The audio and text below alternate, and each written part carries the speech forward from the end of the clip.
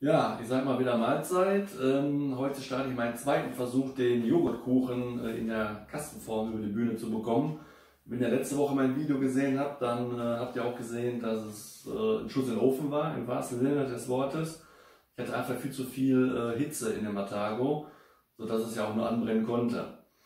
Ähm, ich denke, heute mit weniger Kohlen wird es auch gelingen. Äh, wie ich den Teig mache, werde ich es heute äh, im Einzelnen nicht mehr zeigen, weil das könnt ihr euch dann ja im Video von letzter Woche angucken.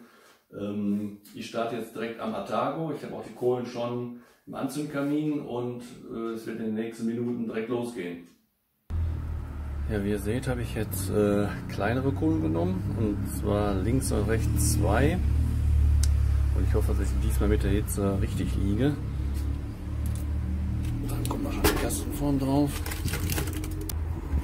wie ihr seht, habe ich diesmal auch Backpapier genommen und die Form nicht mit Butter äh, eingerieben.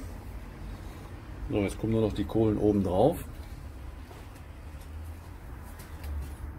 Und dann da auch viel weniger.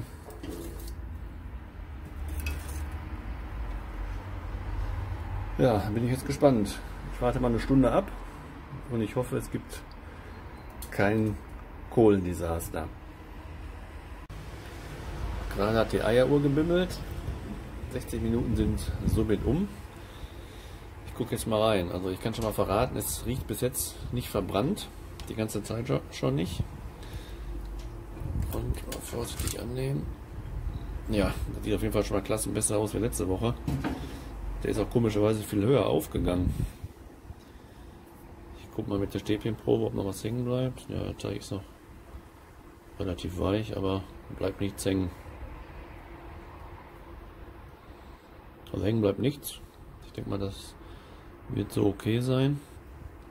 Ich lasse ihn aber vorsichtshalber noch mal 10 Minuten im Atago und dann geht es gleich in die Küche weiter.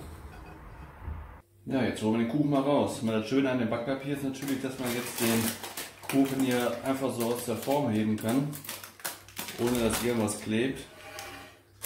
Machen wir mal vorsichtig ab.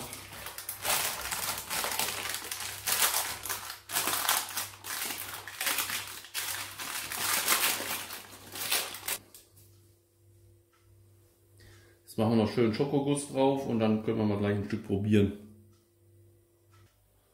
Ja, Gott sei Dank, der zweite Versuch hat nun geklappt. Also mit den Kohlen beim Atar ist echt so eine Sache. Also da muss man noch ein bisschen Händchen, äh, Händchen für entwickeln. Aber ich finde jetzt hier im zweiten Versuch sieht er gut aus. Schön durchgebacken mit äh, Schokoguss. Ich werde die Scheibe jetzt schmecken lassen und sage bis zum nächsten Mal. Ciao. Hm.